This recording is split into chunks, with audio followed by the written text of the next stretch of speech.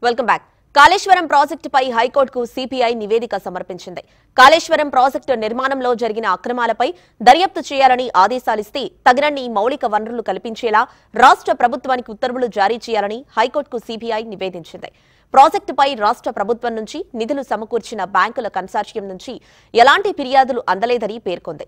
ఈ మేరకు project అక్రమాలపై case నమోదు చేసి దర్యాప్తు చేసేలా సిపిఐకి ఆదేశాలు ఇవ్వాలంటూ దాఖలైన పిటిషన్లో సిబిఐ కౌంటర్ దాఖలు చేసింది.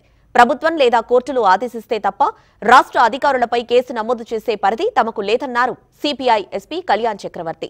Delhi special police establish చట్టం కింద కేంద్ర ప్రభుత్వ ఉద్యోగుల అవినీతి బ్యాంకుల మోసాలు స్టాక్ ఎక్స్చేంజ్ పబ్లిక్ లిమిటెడ్ కంపెనీల వ్యవహారాలపై సుప్రీం హైకోర్టులు ఆదేశిస్తే దర్యాప్తు చేస్తామని తెలిపారు.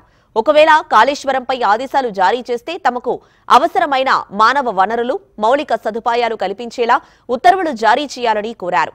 కేసు దర్యాప్తునకు మల్టీ డిసిప్లినరీ ఇన్వెస్టిగేషన్ బృందం అవసరమని అన్నారు.